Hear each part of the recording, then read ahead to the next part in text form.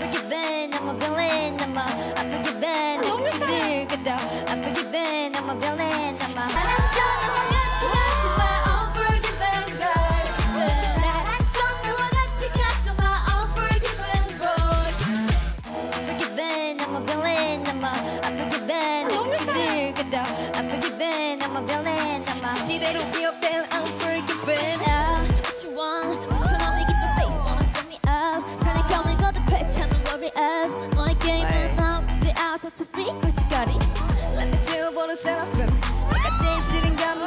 네 명 모두 표정이 너무 좋은데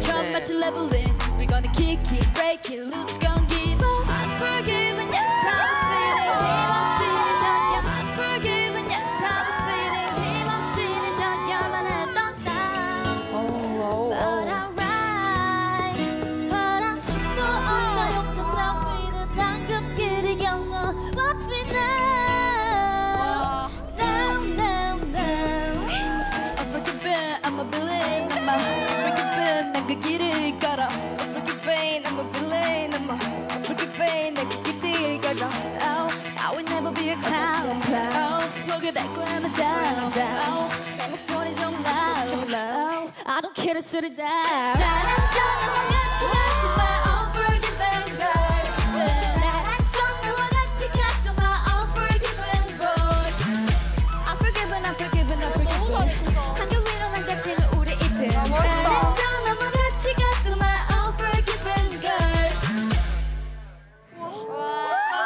밸런스가 되게 좋네요. 이 네 명이. 무대를 보는 내내 이 노래가 가진 그 표현을 얼마나 잘 살릴 수 있을까 이렇게 생각을 하면서 봤는데 워크가 굉장히 좋아 보였던 것 같아요. 그래서 친구들이 이 무대에서 정말 즐거운 모습으로 노래를 하고 춤을 추는 것들이 느껴져서 좋았던 것 같습니다.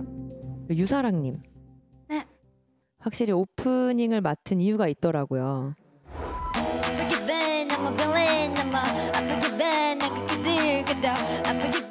순간적인 자기의 매력을 어떻게 하면은 기억시킬 수 있을지 많은 연구가 있었던 것 같아요.